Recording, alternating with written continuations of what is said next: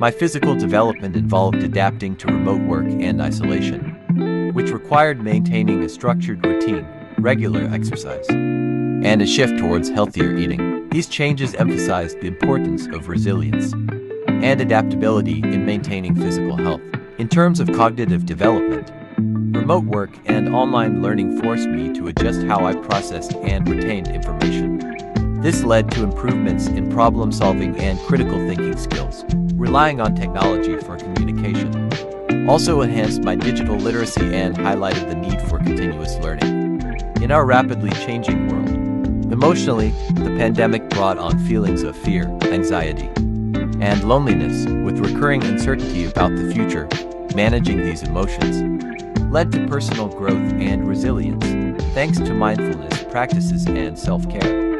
It also fostered greater empathy and compassion for those facing similar struggles, highlighting the importance of mental health. Socially, the pandemic's most visible impact was on face to face interactions.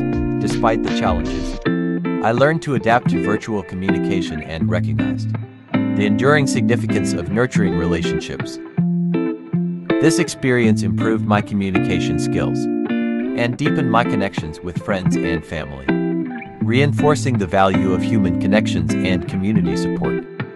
Lastly, the pandemic brought about ethical dilemmas and moral considerations, such as adhering to safety measures and getting vaccinated for public health.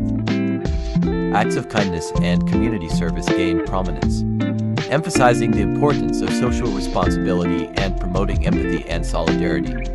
This shaped my values and principles to prioritize collective well being.